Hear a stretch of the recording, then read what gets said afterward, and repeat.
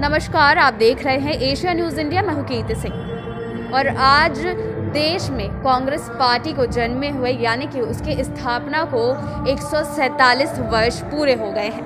Congress party के एक स्थापना दिवस पर आज रांची स्थित कांग्रेस भवन में वहाँ के अध्यक्ष राजेश ठाकुर ने झंडोत्तोलन किया और साथ ही साथ लोगों को संबोधित करते हुए बताया कि इन एक स्थापना दिवस पर किस प्रकार से झारखंड में लगातार कांग्रेस की सरकार, कांग्रेस पार्टी काम को करते आ रही है और यहाँ मतलब झारखंड के साथ साथ देश के विभिन्न क्षेत्रों में कांग्रेस पार्टी किस तरह से लोग लोगों के हित के लिए काम करती है। चलिए देखते हैं क्या कहना है कांग्रेस के अध्यक्ष राजेश ठाकुर का।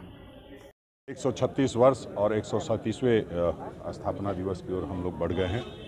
और हम ये कह सकते हैं कि हमने आज़ादी से लेकर के और आज तक लोगों के सद्भाव के लिए लोग कैसे जीवंत जीवन जिए उन सब के लिए लोगों के कल्याणार्थ लगातार हम सब काम करते रहे हैं। और हमने इस दौर में देखा है कि हमने लगातार देश को, देश की जनता की वजह से छः छः प्रधानमंत्री देने का काम किया। और उन छः प्रधानमंत्री के बारे में जब आप बात करेंगे, जवाहरलाल नेहरू जी हों, लाल बहादुर शास्त्री जी हों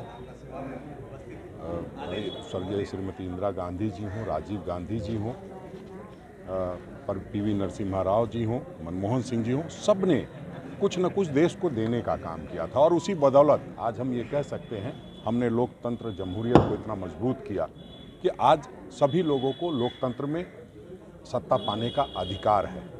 और हम लोग उसी चीज़ को बनाए रखने के लिए लगातार संघर्षरत रहते हैं। आप जब भी किसी गाँव में जाएँगे तो आप देखेंगे, आप पूछेंगे कि आज़ादी की लड़ाई में जो इन्होंने हिस्सा लिया था, वो किस पार्टी से संबंध रखते थे। तो निश्चित रूप से लोग कहेंगे कांग्रेस पार्टी से संबंध रखते थे।